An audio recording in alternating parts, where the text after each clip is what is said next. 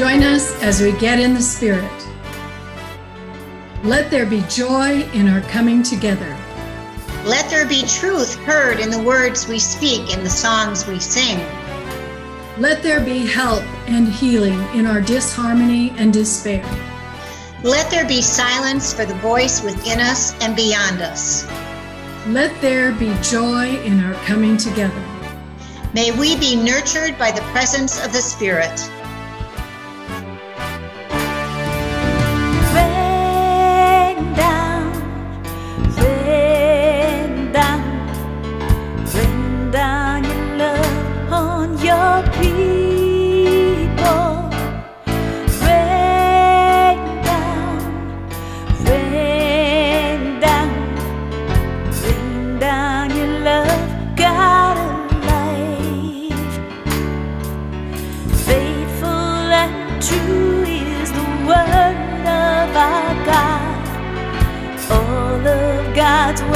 Are so worthy of trust.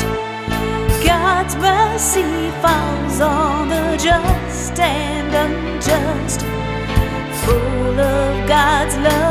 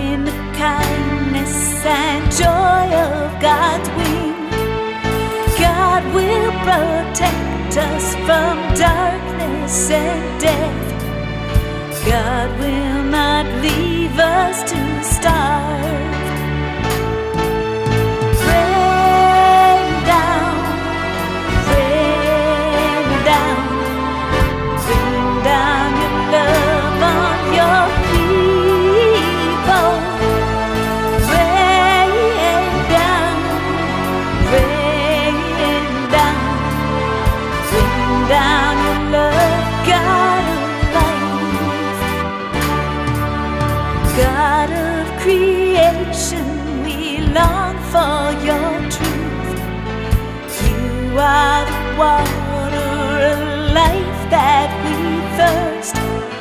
Grant that your love and your peace touch our hearts. All of our hope lies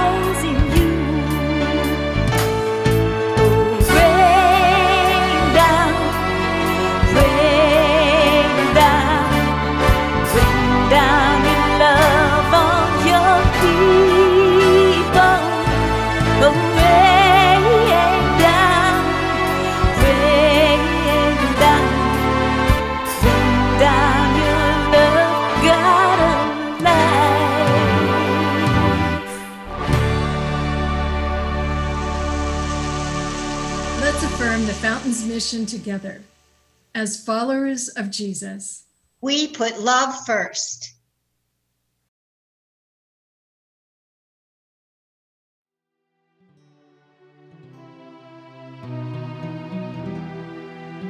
We pause in this moment to be open to the presence of the Spirit.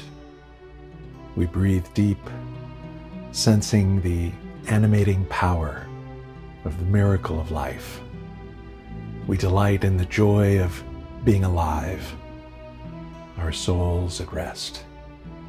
Wherever we go, wherever we are, the Spirit is within us and around us. With gratitude and anticipation, we quiet ourselves in this here and now. Love,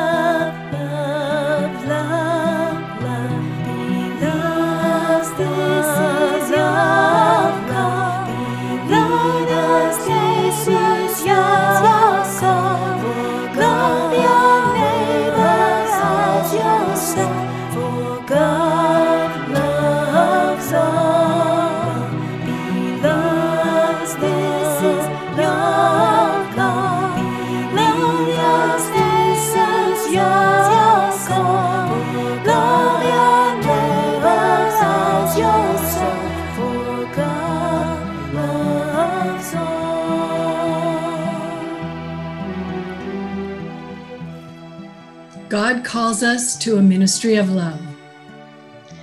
Beloved, let us love one another. We are called to love our parents and our children, our friends and our neighbors.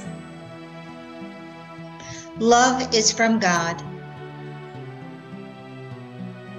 We are called to love the neighbor that hurt our feelings, the parent who is cruel, and the coworker who is selfish. Everyone who loves is born of God and knows God. We are called to love even the people we cannot see, in homes long neglected, in war torn countries, in places of poverty. Those who love God must love their sisters and brothers also. May we accept the call to participate in God's conspiracy of love. This is our prayer.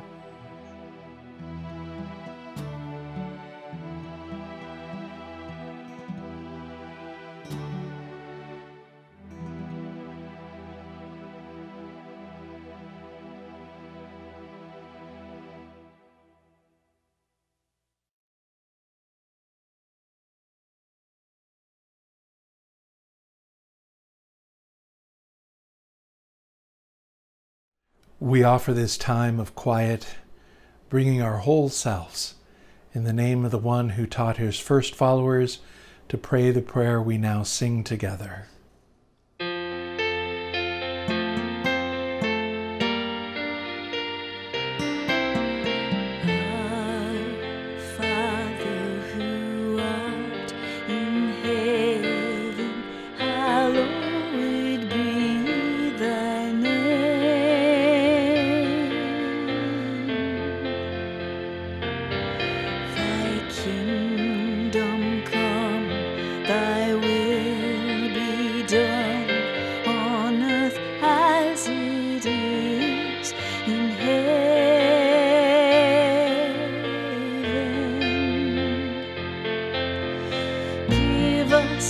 Us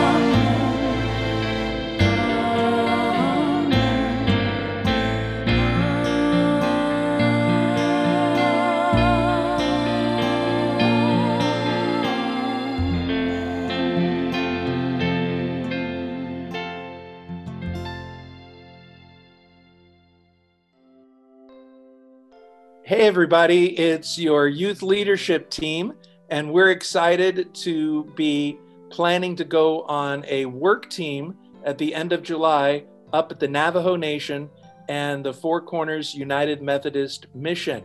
But we need your help. we have to get there first and foremost and so our van is going to cost about $850 gas is another 350 to 400 And we're going to need to eat while we're there. There'll be about 12 youth and adults, and we're figuring about 150 to $200 a day. uh, Reverend Tweedy at Shiprock has asked us to help with the cleaning at the Methodist Church. We also want to do some painting at the Methodist Church and the thrift shop. We also want money for ice cream for the youth and adults along the trip. Absolutely. We're really fortunate to be able to have accommodations there and a kitchen facility and bathrooms and everything at the Four Corners Methodist Mission. So that's covered, but we really need your help to uh, do all of the supplies and the other uh, essentials that make a work team work. So all you have to do is go to give.weputlovefirst.org and there's a youth missions line there and give generously so that we can help you and all of us put love first. Thanks for your support. Thank you so Thank much. you. Bye. be it online, on the phone, or in socially distanced expressions of service. The Fountains continues to touch the lives of thousands of people in real and practical ways. Your faithful and regular giving makes it possible. Thank you. You can help our efforts continue by giving electronically through several easy and secure methods. You can visit our secure website, weputlovefirst.org, and click the big blue donate button, or simply point your browser to give.weputlovefirst.org, and you'll be taken straight to our secure giving page. You can download the Give Plus app on your mobile device, search for the fountains, and follow the instructions. Or you can open the camera app on your phone or tablet and point it at the QR code right here on the screen. You'll then be able to go straight to our secure giving page to make a donation on your mobile device. And of course, you can always send a check. Again, thank you for helping support the Fountains as we continue to work towards putting love first in the world. Your ongoing generosity not only helps reach real people with care and compassion, but helps cast the vision of that better world our hearts know is possible. Thank you.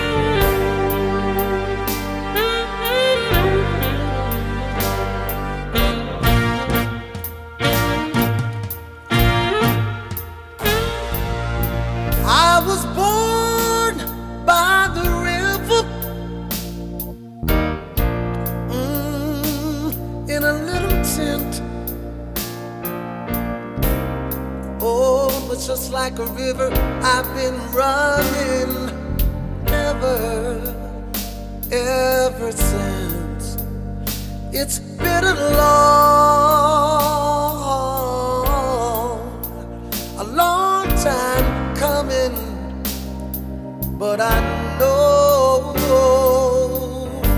change's gonna come. Oh, yes, it will. It's been too hard living, but I'm afraid to die. Cause I don't know what's up there beyond the sky. It's been a long, a long time coming, but I know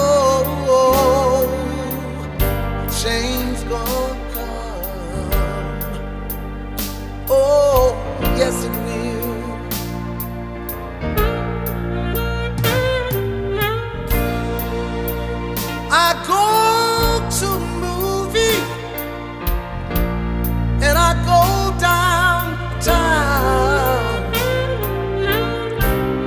somebody keep telling me, don't you hang around. It's been a long, a long time coming but I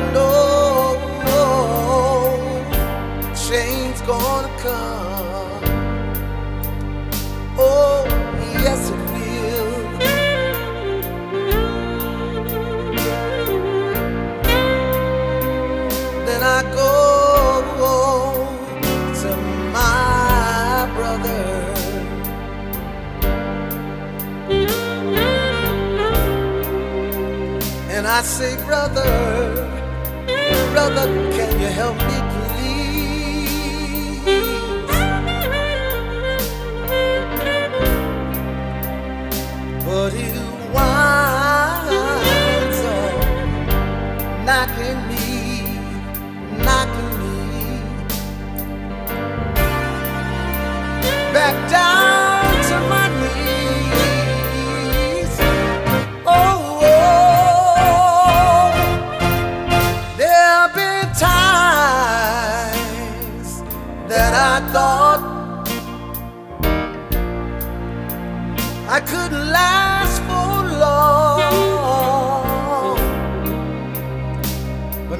think that I'm able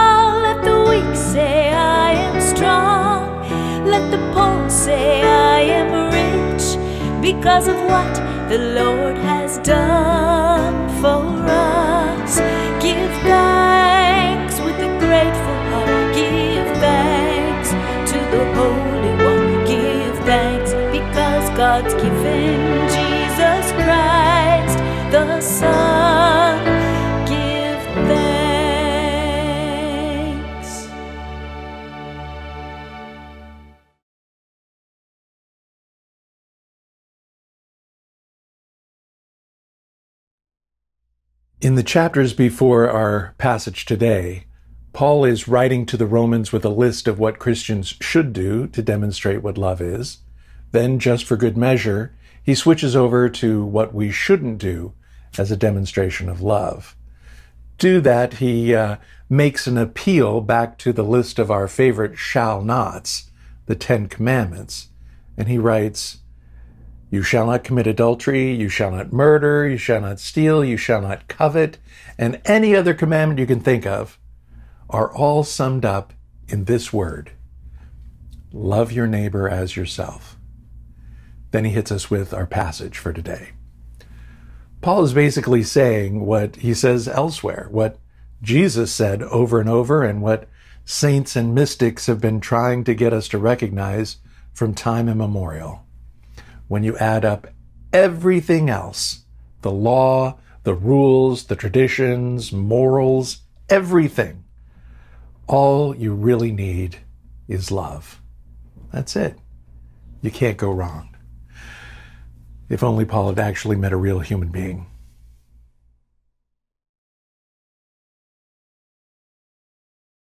Our words of wisdom are from Romans chapter 13, verse 10.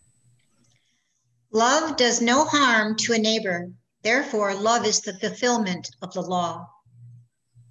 Hear what the Spirit is saying to the church. Thanks be to God.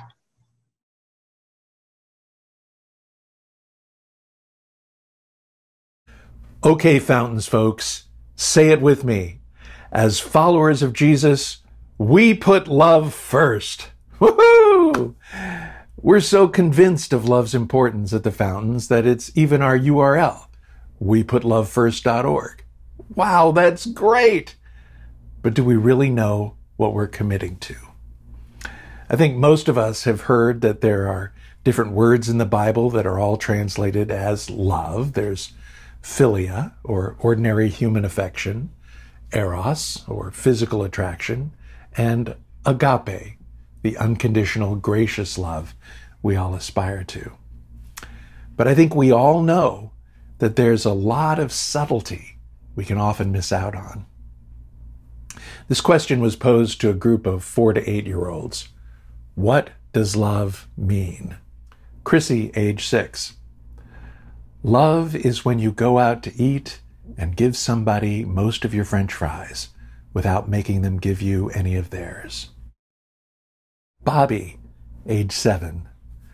Love is what's in the room with you at Christmas if you stop opening presents and listen.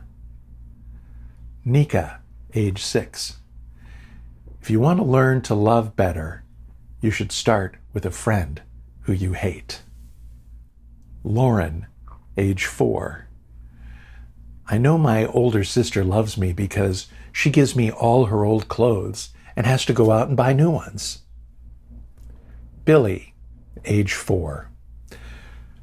When someone loves you, the way they say your name is different. You know that your name is safe in their mouth. How do these children come by this wisdom? Are they adherents to strict religious practices? Do they hold to complex belief systems? Or are they young enough to have not been jaded yet by the system? Maybe they've been reading 19th century French philosophy. Stendhal wrote, Prayers for love will not generate love. Pleading for love will not evoke love. Preaching about love cannot net love. No Valentine greetings can perpetuate love. Only action, action alone, can sow the seeds to reap the harvest of love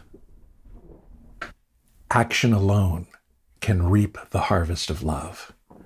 That's probably why you'll find what's come to be called the golden rule at the heart of Jesus' ethic of love.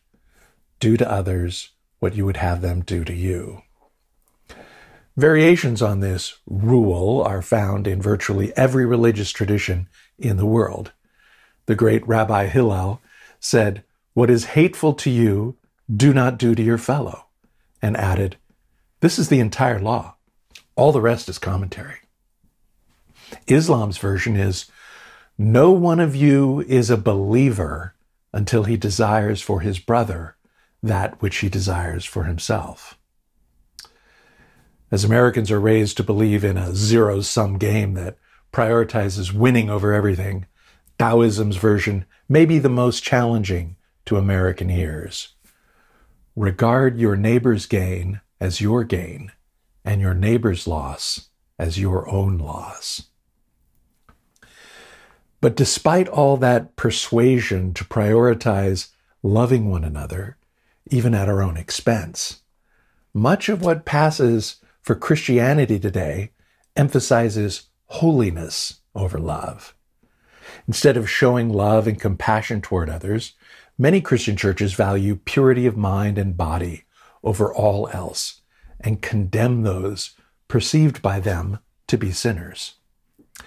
The central religious issues for these Christians are correct belief, admission of sin and guilt, and the seeking of forgiveness, which, when you stop to think about it, is not really what Jesus modeled in his own life and teachings.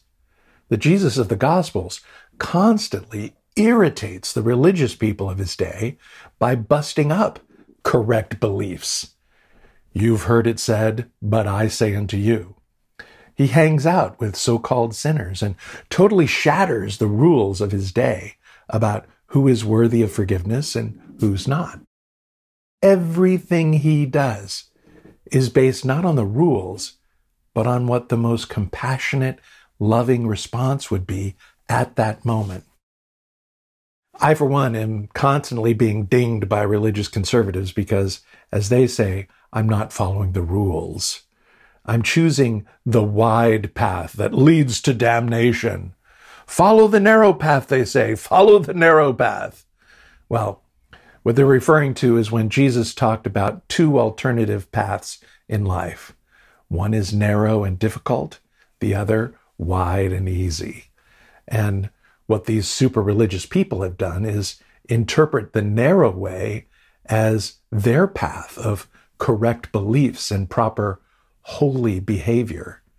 They tell one another that those with heretical beliefs or, or no belief and improper behavior that violates their absolute unchanging rules are on the wide path to perdition. But what if it's the other way around?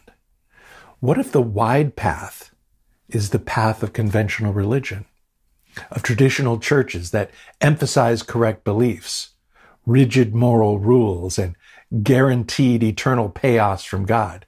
Hey, join us. You don't have to think. Just follow the rules we tell you to follow, hate the people we tell you to hate, and don't ask any questions. That would make the narrow path the much more difficult undertaking, a way rooted not in rules, but in the much more complicated ways of compassion, love, and doing justice. It's a path measured not by adherence to rigid standards, but by working out the way to be most compassionate in ever changing contexts and situations. Which path sounds more difficult to you? The one that the vast majority of people unquestioningly follow, or the one that demands the hard work of justice and love, even the love of one's enemy? I don't know if you remember after 9 11, a number of churches in Australia put up signs that read, Jesus loves Osama. The sign also included Jesus' quote from Matthew Love your enemies and pray for those who persecute you. it didn't make any difference. People's hair caught on fire, especially in the US. What? Outrageous! Obviously, Jesus is an American and hates bin Laden, just like we do. That sign is a lie. Is it? Or is it just easier to dismiss Jesus as a naive dreamer when his call to love means changing your worldview?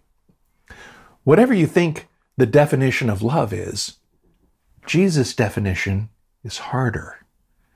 The conspiracy of love we've been talking about all these weeks is not based on a list of simple rules, and it's not easy.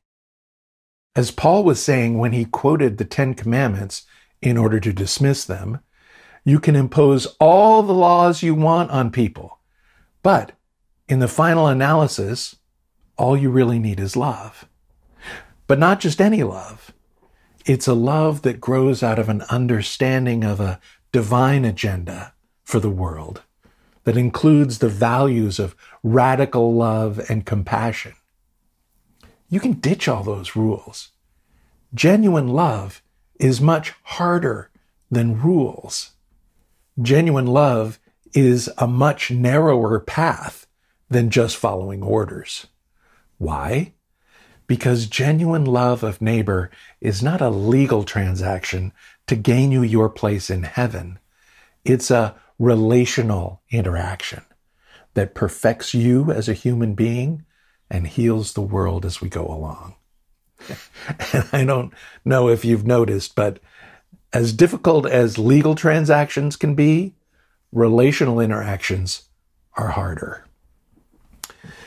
In 1966, ethicist and Episcopal priest Joseph Fletcher wrote a book called Situation Ethics The New Morality. In it, he rejected the idea of absolute morality and instead suggested staying flexible in each individual situation. The sole factor in making moral judgments in any situation? Love. He declared that sometimes Traditional morality is not only not the same thing as doing what's right, traditional morality, the status quo, is sometimes a barrier to the good. Not convinced? Think about those good Christians who defended slavery as biblical. Think about those good Christians who stole Native American children from their families, cut their hair, gave them new names, and forbid them from speaking their native language. Think about those good Christians who right now are fighting to keep sex ed out of schools because they fear it will promote premarital sex. When every study shows that teaching kids about sex slashes the instances of STDs and teen pregnancies. How about those ethical dilemmas situations that you had to work through in school? Or, or stories like this one. A woman was imprisoned in a woman's POW camp and was, in all likelihood, destined to die there. She knew that her husband and children were frantically trying to rescue her, but had exhausted every option with no success. However, there was one way out of the camp, and that was to get pregnant. Pregnant women were considered a liability and transferred out of the camp to deliver their child in a hospital. The woman worked out a deal with a guard who was sympathetic to her situation and was willing to help. She became pregnant, was transferred, and escaped to be reunited with her family. She and her husband raised the child as their own, as her only motivation behind committing adultery was her love for her family and the dream of being reunited with them. As Fletcher says in his book, sometimes you got to put your principles to one side and do the right thing. Fletcher's book ignited a firestorm of controversy. Why? Because the type of love Fletcher was calling for was outlandish. It was radical. And in the Bible, it's called agape. It's not a fleeting emotion. It's not a warm feeling of friendliness, a condescending generosity, or a gentle tolerance of the shortcomings of others. In fact, agape is not a feeling at all. It's a verb that demonstrates love at its deepest level in action and commitment. It is love that chooses to do what is best for another person, even when it may not go over well with religious people. Think of all the times Jesus upset the religious folks of his day by breaking all the purity rules, eating with tax collectors and prostitutes. Think of all the stories Jesus told where the heroes and sheroes were enemies of the Jews, or worse, women unclean, who ruined everything by polluting flour with leaven, oh my, or some other unspeakable act. That's because Jesus' emphasis was on not only doing no wrong to a neighbor, but on loving that person. Because as Fletcher's scandalous situational ethic demanded, love is the only thing that is always good. Some of you will remember that back in 2014, our own Karen Bailey and Nelda Majors were the lead plaintiffs in the case against Arizona's ban on same sex marriage. Then, on the day the ban was lifted, Karen and Nelda were the first same sex couple to receive their marriage license in the state of Arizona. I was honored to be asked to officiate at their wedding, and because at the time, to do so was a fireable offense, I called Bishop Bob to let him know. You won't be surprised to know that he couldn't have been more encouraging and supportive. What you may not know is that Karen and Nelda invited Bishop Bob and his wife Greta to the wedding. And I remember later that night, as I left the reception to rescue the babysitter, my last glimpse of the dance floor was of Bishop Bob and his wife Greta dancing the night away, surrounded by gay and lesbian couples. That's putting love in action. When Barack Obama quoted Martin Luther King Jr. in saying, the arc of the moral universe bends towards justice, he added, but it doesn't bend on its own. We are the shapers of the moral universe, and we bend that arc by loving our neighbor by seeking justice for those neighbors who are excluded or who are at a cultural disadvantage. That's what Brother Cornel West means when he says, Justice is what love looks like in public. You simply can't talk about loving folk and not fight for justice. Fletcher believed, Paul preached, and Jesus demonstrated it in his life that the only absolute law was the norm of love. And all of them knew that this kind of love can't be legislated, it can't be commanded, it can only be called for, demonstrated, encouraged, and nourished, and will only be found on that narrow path that others may not understand and in reality may feel threatened by. So, as you seek to put love first, know that it won't be easy. If it is, you're probably not doing it right. And remember what six year old Nika said if you want to learn to love better, you should start with a friend who you hate. In the meantime, remember these words of advice often attributed to Mother Teresa. If you can't do great things, do little things with great love. If you can't do them with great love, do them with a little love. And if you can't do them with a little love, do them anyway. Be well.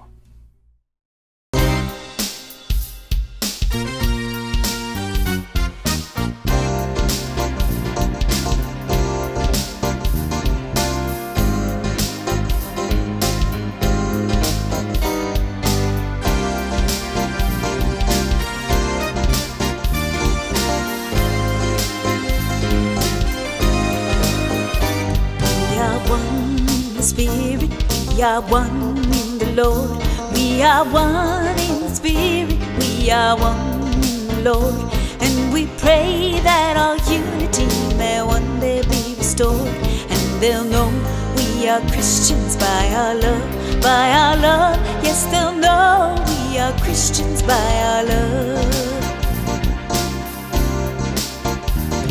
We will walk with each other. We will walk walk with each other. We will walk hand in hand. And together we'll spread the news that God is in our land. And they'll know we are Christians by our love, by our love. Yes, they'll know we are Christians by our love. We will work with each other. We will work side by side. We will work with each other. We will work side by side. And we'll guard each other's dignity and save each other's pride. And they'll know we are Christians by our love, by our love. Yes, they'll know we are Christians by our love. All praise to the Maker from whom all things come. And all praise to Christ Jesus, God's Holy One. And all praise to the Spirit who makes us all one. And they'll know we are Christians by our love, by our love. Yes, they'll know we are Christians by our love. Yes, they'll know we are Christians by our love.